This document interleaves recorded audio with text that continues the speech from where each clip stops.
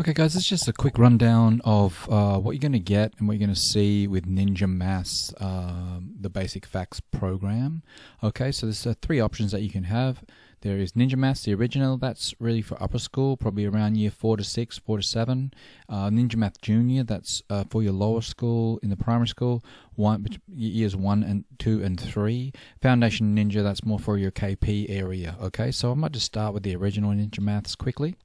And if you if I just go into that folder, um, I'm just going to show you what you'll get. Now, the key to the program is a couple of things, but um, probably the main thing is the Ninja cards. So if I go in here, these are the Ninja cards, the Ninja rankings, and when they gain a new Ninja ranking, you will give them a new laminated card. They get pretty pumped about that, don't you worry. And um, a, a, good way of explaining it, I heard recently, was if you got that card, that's the ninja you are battling. So once you defeat that ninja and you move up the rankings, you get a new opponent. So it's pretty cool.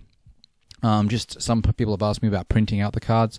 If you print out the cards, all you need to really do is just go right click, print, and then if you scroll down, uh, if you're using a PC, you're going to see wallet size, and then you'll see one. But if you want to print a lot, uh, let's say nine or more, I would suggest printing more Genin because at the start, a lot of times the kids are in Gen. And then if you click print, you're going to be able to print those. Definitely a good idea to cut out and then laminate. Your cards are going to last you years rather than weeks. So those are the cards. There's lots of different cards um, and rankings that they can go up. There is Miss Ninja, which is an extra card how you use Miss Ninja is explained if you choose in your uh, explanation. So if I go back out, you'll see that uh, you get an explanation of how to run Ninja Maths or how I would do it or how I did do it. And it talks about why it works, it talks about the implementation, it talks about homework if you choose that, other areas, and then down the bottom you got Miss Ninja. So if you want to run Miss Ninja, have a look at that explanation. Um, yeah, you also get obviously a ranking ninja ranking poster. You would print this out and laminate it, refer it to it. So if he gets kid, if a child gets below 40, they're going to get a Genin card between 40 and 60 Chunin, and on the way up the rankings, you'll be surprised how far they can get. They definitely get a lot further than me.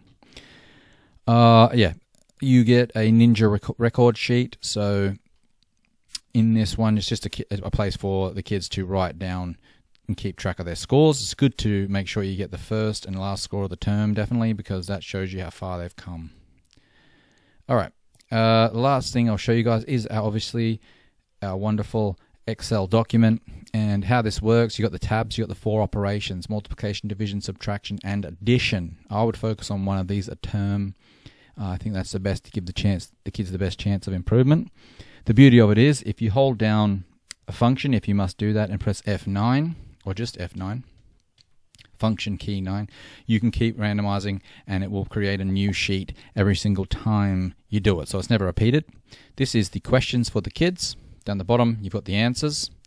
I would print out as half as many answers um, and then give them to the kids to swap and mark if you want to do that just for efficiency reasons. So obviously, like I said, you've got division, you've got subtraction, you've got addition, so you can focus on whichever one of those you please. Um, all right. So that is the regular Ninja Math. Why does it work? You might ask. It works because of motivation. The kids are pumped. They want to. They want sheets to take home. They're going to go home and practice because they want to defeat that ninja. They want to move up the rankings. They want the new ninja card. I get them to stick it at the top of their desk with a Blu Tack and represent. Um, so yeah, it's a great time. So then we go out. Uh, if I go back, let's have a look here.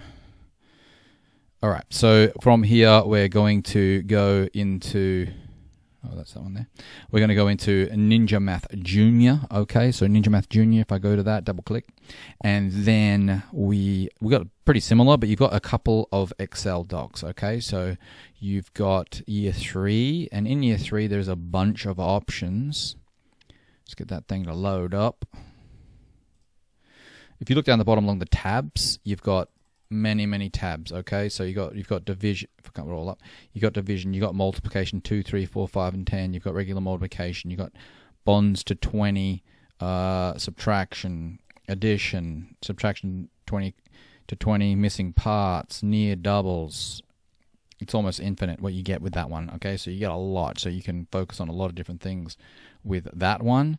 For junior, so that's maybe your ones and twos. It's very similar as well, but a bit uh, more simplified.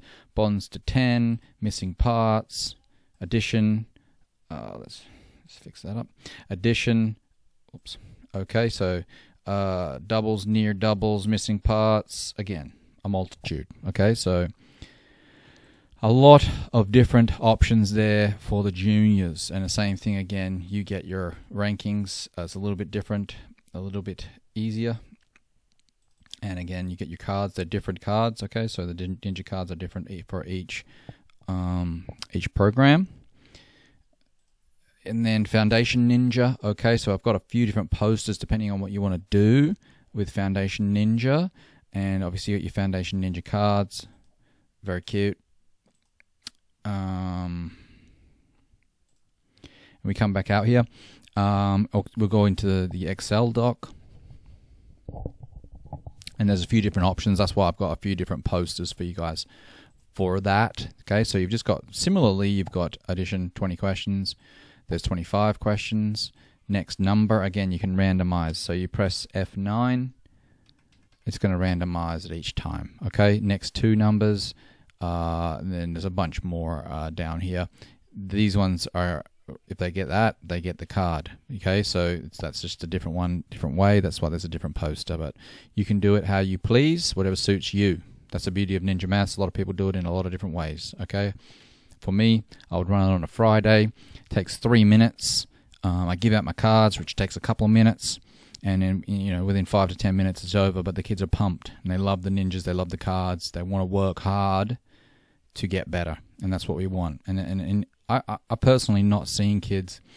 Uh, for some reason, they don't compare. They look, they just concentrate on their own improvement because everyone's improving. Every single person in the class improves, which is amazing.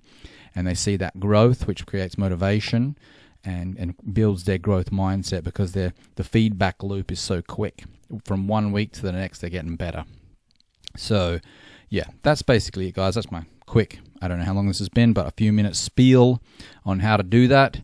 And uh, those are the three programs. So if you have any other questions, just let me know.